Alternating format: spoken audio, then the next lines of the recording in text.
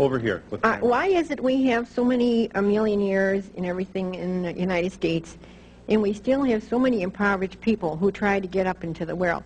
Why is it we have this lack of money where people who can't support themselves decently and get a decent job, where all these big men are up on top making oodles and oodles of money, they don't need it. They can only eat that much, eat, you know, And sleep what do in you the suppose they bed. do? If they don't eat it and don't sli- uh, don't use it, what do you suppose they, They do? with hoard it. They And what do you mean they hoard it? You mean it. they put it under their pillows? That's right. No, They- they keep investing it. Investing it in That's what? right, yeah. What are they invested in? Well, in oil and everything, where, I mean, all these other people who are What are they trying... invested in? Don't get off the subject. What No. are they invested in? Well, they invested in a lot of uh, different things that the little people need.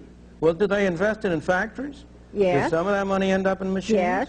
Do those factories and machines provide ordinary working people with jobs or not? What do you suppose the productivity of this country would be and of the, uh, the wage rate would be if the total amount of capital in this country today was what it was 100 years ago? Where do you suppose the improvements in productivity come from except from the, re the investment by people of their savings? But let me go to your fundamental question. First place, nirvana is not for this world. There is no paradise.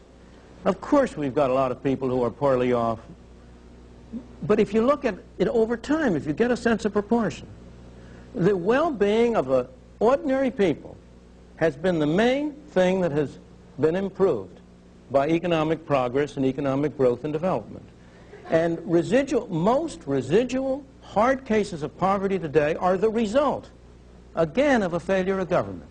Why do we have a teenage, black teenage unemployment rate in 30 to 40 percent? Because of two failures of government. One, a failure to provide decent schooling, which is a governmental responsibility. Has been, whether it should be or not, it has been. And second, because of a minimum wage rate, which prevents those kids who haven't had decent schooling from getting jobs at low pay at which they can earn the skills on the jobs that would enable them to rise to higher pay. If you look at the, sources of poverty, you will find a very most of them are derived from what I regard as wrong-headed government policies.